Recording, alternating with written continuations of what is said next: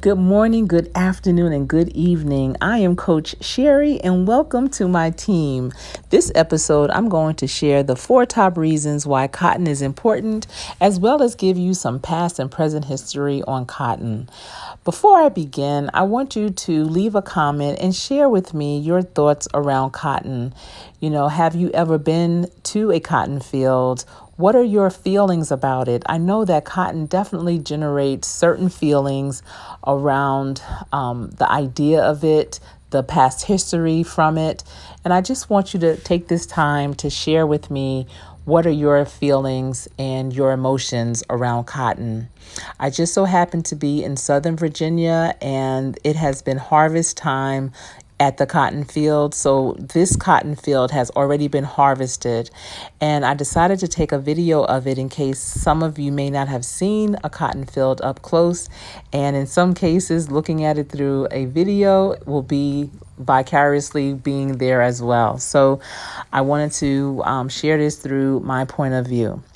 Cotton is the number 13 most valuable crop in the state of Virginia, generating over $45 million in sales.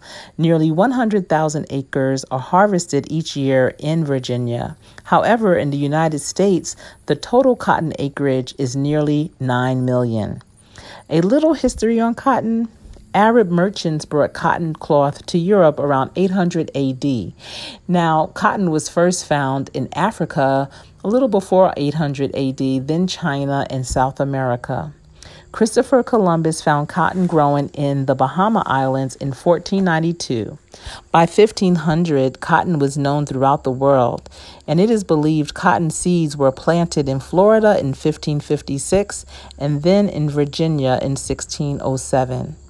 Here are the top four reasons why cotton is important. Number one, it is the most widespread profitable non food crop in the world. Number two, its production provides income for more than 250 million people worldwide. Number three, the business of cotton employs almost 7% of all labor in developing countries. And number four, approximately half of all textiles are made of cotton. Now, the top two producers of cotton around the world are number one, India, then China. In the United States, the top producing states are number one, Texas, then Georgia, Mississippi, and Arkansas.